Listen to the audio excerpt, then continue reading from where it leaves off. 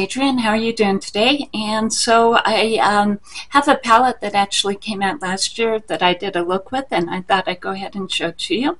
Started with e.l.f. Halo Glow, and this is in the fair one.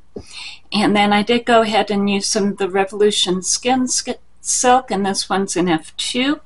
And I mixed in a little bit of the Lumi Glotion, and this one is in 902. I think it's their lightest shade. And then um, as far as what I went ahead and did for the cheeks, went ahead and used the Wet n Wild, and this from the Nightmare Before Christmas, the Barrel of Scares. And so that's what I have on for the cheeks. I did go ahead and use some of the ColourPop. And so this is the Flexitarian. And oops, yeah, I'm just about done. In fact, I think I'm just about the last flake right here. So, yeah, this is Flexitarian um, by ColourPop, and it's one of their cult favorites. And um, yeah, I just had a flake fall, but um, I kept on saying, oh, I have one or two more uses left, and now I'm really to the point where I have one or two more uses left. So did go ahead and use that all up, and I think that's the actual first time that I've actually used the entire pan completely up. So, you know, they're first for everything.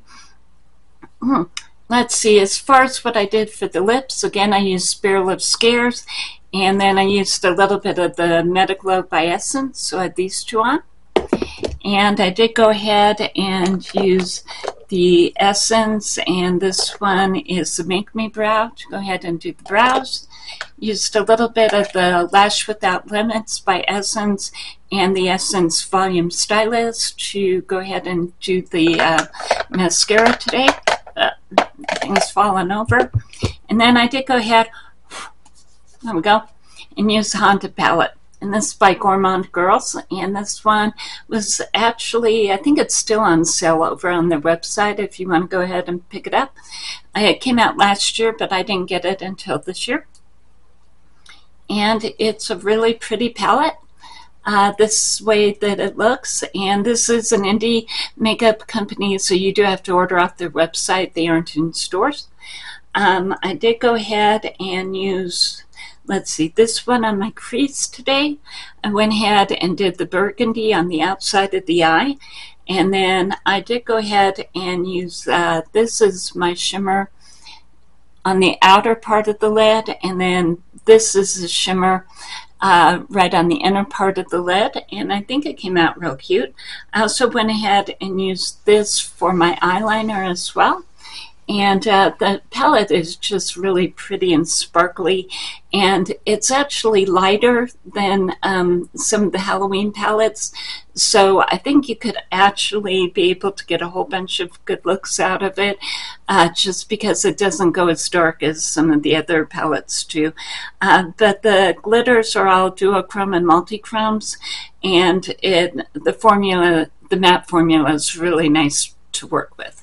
So here's the way that the eye look came out. And it's very shiny. And um, I will go ahead and get you some swatches and be right back. Okay, so here are the swatches. And yeah, it does have a whole bunch of pink and purple colors. It has some greens in there as well. And um, actually with the burgundy and the greens, that's a really big uh, color combination this year in fashion. So um, you would definitely be able to do some of those looks with this palette. And like I said, the formula is really nice. There's a lot of pigment. It blends really easy. And um, yeah, I think that's probably the whole review. Uh, again, uh, really cute uh, palette by Gourmande Girls, and if you want to, um, I think their sale is still going on, so yeah, it's a fun one to pick up. And have a good day. Bye.